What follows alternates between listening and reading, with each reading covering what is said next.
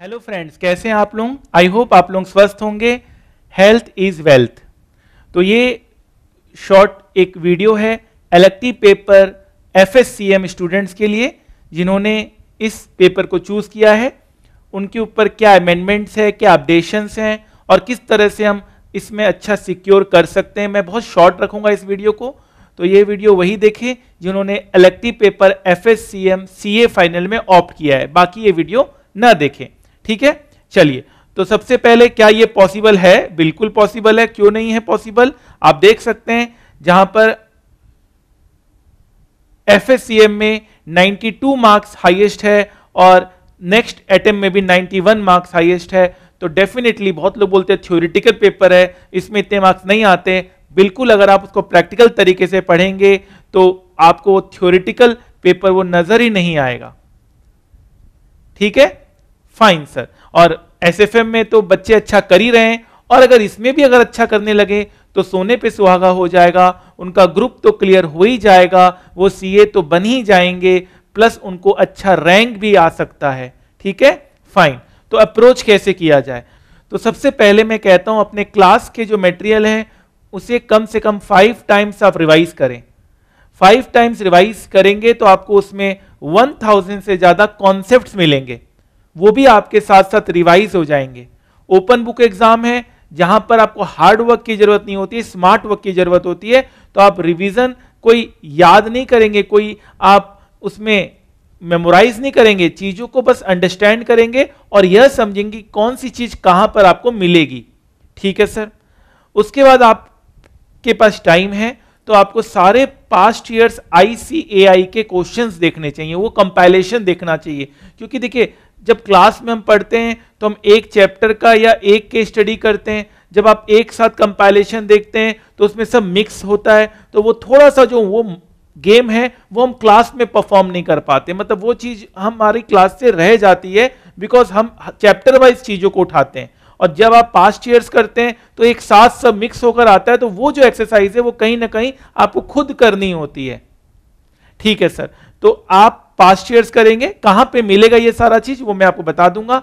Amendment plus new questions कुछ जो amendments हैं प्लस जो नए क्वेश्चंस हैं, वो मैं आपको हैं, अगर है तो मैं आपको वो ग्रुप में भी पोस्ट कर दूँगा। ठीक है सर वैसे तो कमी चांसेस है बिकॉज़ ये मैंने अपडेटेड मटेरियल ही आपको दिया है प्लस आपको यहाँ पर ये बताने वाली बात है, जिन्होंने पुराने स्टूडेंट्स हैं, जो मुझसे पहले एफ़ ले चुके हैं और जिनका एग्ज़ाम अब आने वाला है, उनके लिए दो चैप्टर और ऐड हो गए हैं। चैप्टर का नाम है फैक्टरिंग और लीजिंग आई होप आप लोग ने ये चैप्टर कर लिया होगा और हम लोग ने भी उस चीज़ का क्लासेस भी आपको प्रोवाइड कर दिया होगा। Factoring and leasing both are 100% practical chapters और इसके ऊपर डेफिनेटली आप जो क्लास में मैंने कराया वही क्वेश्चंस आपको एग्ज़ाम में मिलेंगे, आप देख लीजिएगा। बस आपको वहाँ पे अप्लाई करना है अपना दिमाग और लीजिंग और फैक्टरिंग के क्वेश्चंस आप 100% सिक्योर कर लेंगे। एक चीज़ और, जो पुराने स्टूडेंट्स हैं, उनको बैंकिंग पार्ट वन चैप्टर नहीं करना है। ये हमारे सिलेबस से हट चुका है। बैंकिंग पार्ट वन हालाँकि जो लेटेस्ट बैच है, उस पर मैं ऑलरेडी उस चीज़ को हटा के दे रहा हूँ। उस चीज़ को मैं ऑलरेडी उस पूरे वीडियो से, उस पूरे कवरेज से मैंने डिलीट कर दिया है। बट जो पुराने स्टूडेंट्स हैं, जिन्होंने बैंकिंग पार्ट वन चैप्टर मेरे से किया है, उनको आगे वाले एग्ज़ाम में बैंकिंग पार्ट वन चैप्टर नहीं करना है। ठीक है सर।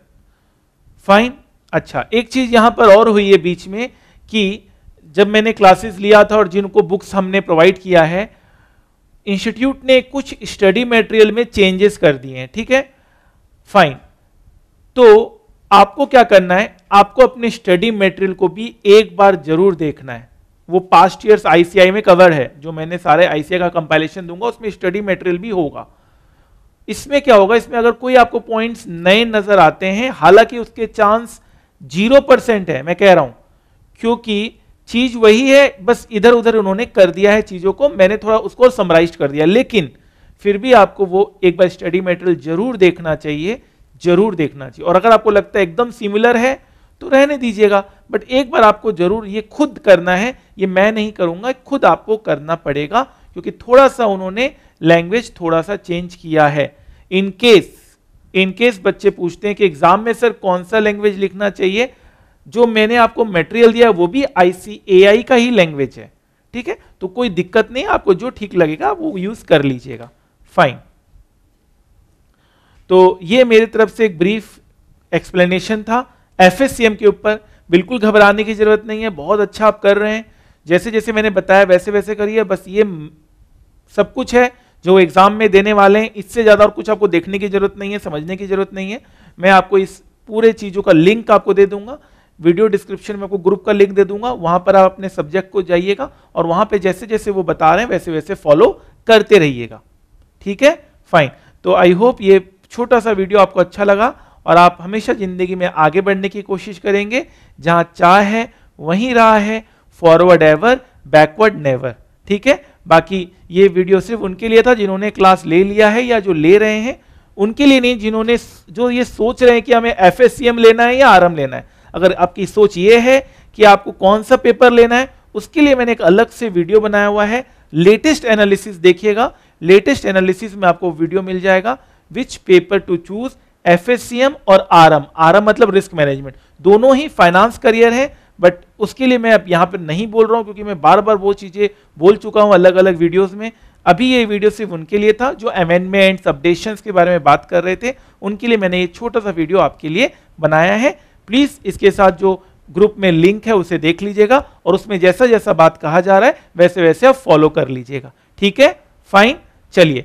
ऑल द बेस्ट याद रखिएगा, वक्त का तकाजा है। लहरों से जूझना सीखो। कब तक चलोगे किनारे किनारे सागर को चीरना सीखो। तो ज़िंदगी में आपको हमेशा आगे बढ़ना है पॉजिटिव रहना है और हमेशा स्वस्थ भी रहना है। फाइन सर थैंक यू दो मिनट है आपके पास? पता है दो मिनट में ज़िंदगी नहीं बदलती, पर दो मिनट में लिया हुआ फैसला आपकी ज़िंदगी ज़रूर बदल सकता है। और जब सवाल 100 percent marks with target crore plus salary in finance हो तो दो मिनट देना तो बिल्कुल बनता है। जिस तरह से बिना पेट्रोल के कार नहीं चल सकती उसी तरह से बिना फाइनेंस के कंपनी का चलना नामुमकिन है। एक अच्छी फाइनेंशियल मैनेजमेंट हो तो कंपनी फ़र्ज़ से अर्ज़ तक पहुँच जाती है। और अगर फाइनेंशियल मैनेजमेंट बुरी निकली तो कंपनी अर्ज़ से फ़र्ज़ तक आ जाती है। तो हो जाइए तैयार।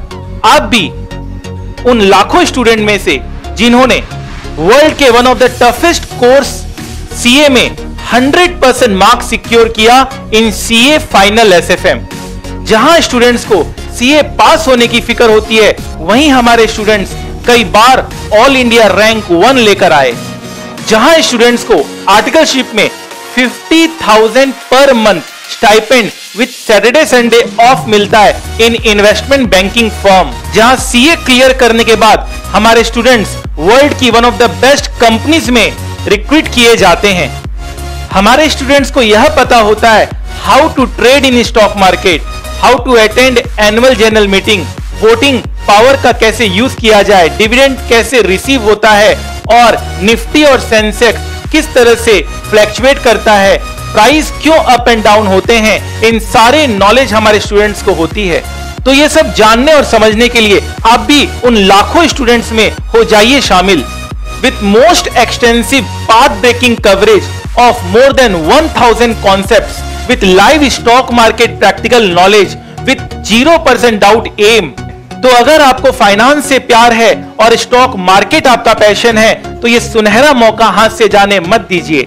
मैं आदित्य जैन अपने 15 साल के टीचिंग एक्सपीरियंस के साथ आपको पढ़ाने आ रहा हूँ with motto of learn more earn more the more you learn the more you earn तो याद रखिएगा, वक्त सबका आता है, कोई बिखर जाता है, कोई निखर जाता है।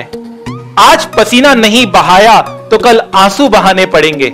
Make the rest of your life best of your life जितना कठिन संघर्ष होगा, जीत उतनी ही शानदार होगी। तो आपके इस वैल्यूबल समय के लिए थैंक यू सो मच याद रखिएगा, सफलता एक दिन में नहीं मिलती, मगर ठान लो तो एक दिन ज़रूर मिलती है। तो आदित्य जैन डॉट कॉम में जाइए और वहाँ से अपने फाइनेंस करियर की शुरुआत कीजिए। Wish you all the best thank you so much